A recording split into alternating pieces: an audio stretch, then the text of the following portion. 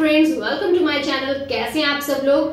Friends क्या आपको भी हमेशा धरण की प्रॉब्लम रहती है? एसिडिटी की प्रॉब्लम हमेशा बनी रहती है। पेट में दर्द, कमर में दर्द लेग्स में पेन अगर इन सभी प्रॉब्लम से आप जूझ रहे हैं तो आज का वीडियो आपके लिए है। इन सभी प्रॉब्लम्स को आप सिर्फ़ एक चीज़ से ठीक कर सकते हैं, वो है डीप नेवल मसाज इन सभी प्रॉब्लम्स का इलाज एक ही है, वो है डीप नेवल मसाज और डीप नेवल मसाज कैसे किया जाता है वो आज के इस वीडियो में मैं आपको बताऊँगी। बट उससे पहले हमारे चैनल को सब्सक्राइब कीजिए वीडियो को लाइक कीजिए शेयर कीजिए बेल बटन को दबाकर नोटिफिकेशन ऑन कीजिए ताकि मेरे आने वाले वीडियो का आपको नोटिफिकेशन मिलता रहे।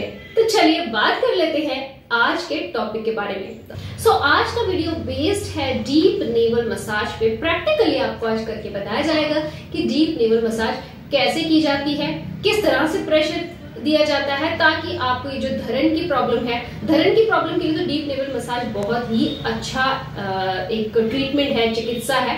इसीलिए इसे हमारे वेदों में नाभि चिकित्सा कहा जाता है, जिससे हमारी जो पेट की बीमारियाँ होती हैं, वो पूरे तरीके से ठीक हो सकती है। हाँ जिनको पेट में दर्द रहता है या पेट में भारीपन बना रहता है, जिसकी वजह से उनकी टांगों में भी दर्द रहती है और कमर में भी दर्द रहती है, उसके लिए डीप नेवल मसाज बहुत फ़ायदेमंद है।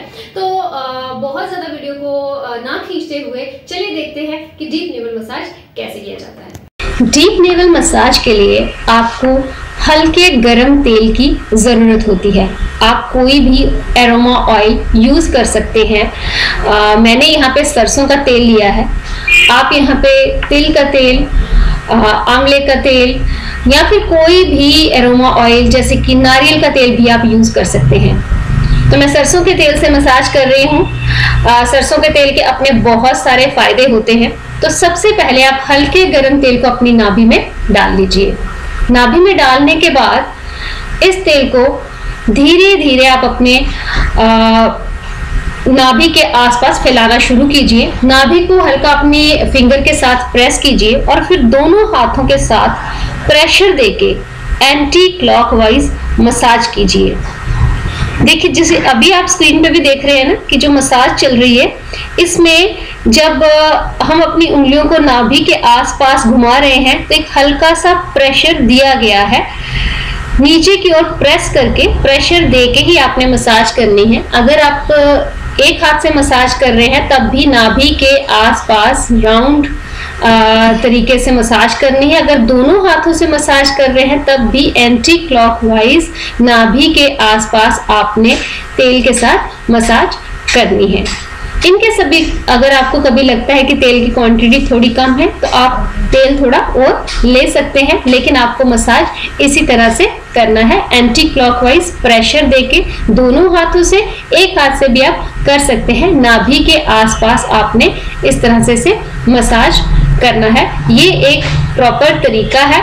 नाभि के आसपास मसाज करने का। उसके बाद आप दोनों मुट्ठी बाँध कर भी नाभि पे प्रेशर डाल सकते हैं। देखिए, दोनों मुट्ठी बांधिए और नाभि पे आप इस तरह से प्रेशर डालिए जो आपके इंटरनल एब्डोमन पे प्रेशर पड़ेगा, जिससे आपकी जो एसिडिटी और धरण की जो प्रॉब्लम होती है, वो धीरे धीरे ठीक होना शुरू हो जाती है और फिर दोबारा से आप इसे मसाज कीजिए। दोनों हाथों से प्रेशर देके पाँचों उंगलियों के साथ। इसके अलावा आप अपने दोनों थम्स को भी यूज़ कर सकते हैं। दोनों अंगूठे लीजिए। उसको नाभि पे प्रेशर देकर एंटी क्लॉकवाइज मसाज कीजिए नाभि के आसपास। थम के साथ थोड़ा सा ज़्यादा प्रेशर लगता है नाभि के आसपास, जिससे इंटरनल अब्डोमेन पे ज़्यादा प्रेशर पड़ता है और आपकी जो प्रॉब्लम होती है धरण की, वो हल धीरे धीरे ठीक होना शुरू हो जाती है। इसके अलावा, देखिए, अभी थोड़ा सा जो ऑयल है वो कम लगा, इसलिए मैंने थोड़ा सा ऑयल और लिया और फिंगर के साथ, नाभि के साथ अंदर की तरफ़ प्रेशर दिया अब आप एक अपने हाथों से कप जैसे होता है, वैसे आप इस तरह से कप शेप ले लीजिए और पाँचों उंगलियों को अपनी नाभि के आसपास रखकर नीचे की ओर दबाइए प्रेशर दीजिए और फिर उंगलियों को नाभि के आसपास घुमाइए। जैसे कि आप स्क्रीन पे देख रहे हैं ना, बिल्कुल इसी तरह से। और ये जब आप उंगलियों को घुमा रहे हैं कप की शेप में तो आपको प्रेशर देना है, नाभि को अंदर की तरफ़ दबाना है और फिर प्रेशर देना है। और ये दोनों हाथों से आप कर सकते हैं राइट हैंड से भी कर सकते हैं लेफ़्ट हैंड से भी कर सकते हैं। मैं इस टाइम दोनों हाथों से कर रही हूँ और उसके बाद फिर दोबारा से अपना यही प्रोसीजर करना है। दोनों हाथों से प्रेशर देकर पाँचों उंगलियों के साथ अपनी नाभि के आसपास इसे ऑयल को घुमाते रहना है। उसके बाद जो एक्सेस ऑयल होता है, जो बच जाता है, उसे आप अपने पूरे पेट पे और कमर पे लगा के पूरे ऑयल को आप एब्जॉर्ब होने के लिए